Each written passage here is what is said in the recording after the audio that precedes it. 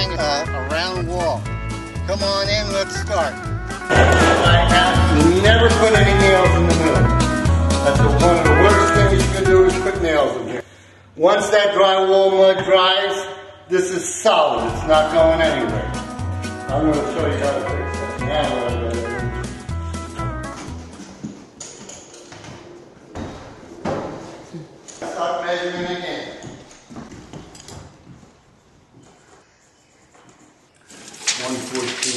76. Let me mark, mark these off.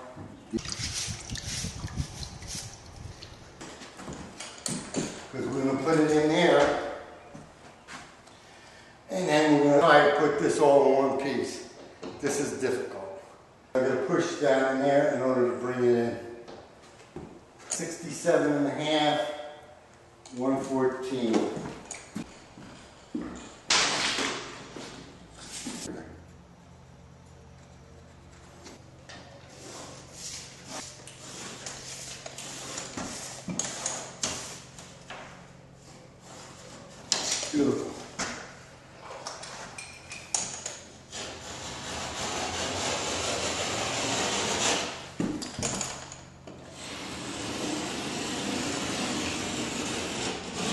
You know how many thousands of these I've done? How many thousand angles I've cut in my years? Thousands and thousands of these things. And what you don't do, never try to make them perfect. You can, if you do 200, you might get one that is perfect. And that's only because it's an accident. If you have a scarred board, if any damages to the back of the board, set it down, use a different one. Because if it's scarred in the back, and you put the stuff on, you go to bend, it's going to break where the scar is. The last piece is always the, the bugger. Only a small part. See how nice and soft this is? You can't use this thick. It has to be thin. Because you want the water from the mud to go into the sheetrock. I've done maybe over the 50 years, I've probably done uh, 80, 90 of these round walls. Uh, round stair walls, round big walls, all kind of round sheet you can think of. I don't think I should have said shit.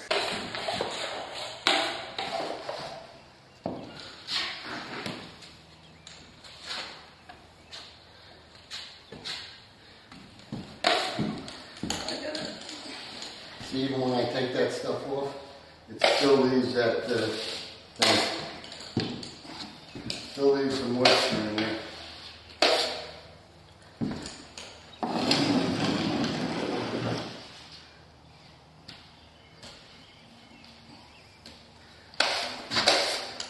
All right, babe, you ready? I'm gonna take your hand to you here, and then you get ready. All you gotta do is slip it on the shelf. You have to do no pushing or nothing. You gotta hold it against there so it don't fall off. I'm gonna do all the other stuff myself. Now here's hoping I don't mess it up.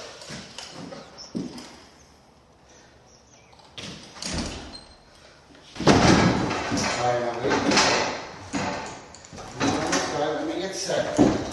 Right, ready? Go.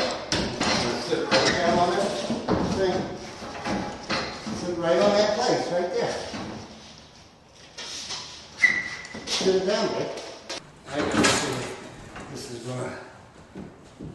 In. Go back to the juice. All right, just hold on.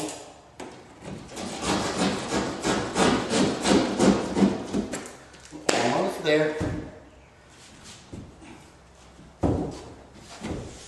Where the hell is it hitting? Just don't move it. Just sit there. I'm gonna nail it in. I'm gonna router the bottom.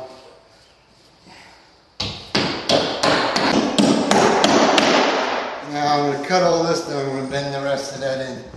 Can't bend it and make it work at the same time. So I overlapped a little bit, I'm gonna take the router and I'm gonna cut that off.